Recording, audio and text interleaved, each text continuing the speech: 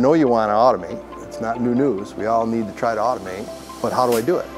Is everybody familiar with a collaborative robot, a cobot? What do you guys think this is doing? Palletizing. That's right. It's palletizing boxes.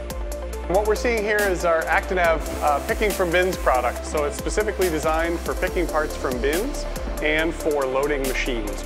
This is a FlexiBowl, so it's a flexible feeder in that it doesn't really care what type of part you put onto it, the shape of the part, the geometry of the part. MiR is part of a family of products called AMRs, Autonomous Mobile Robots. Somebody's standing at a bench, measuring parts all day long, recording dimensions. That's the type of thing that we're trying to automate and optimize. We represent who we believe to be the ideal manufacturer for each part of an automation system from the PLC down to the end effector.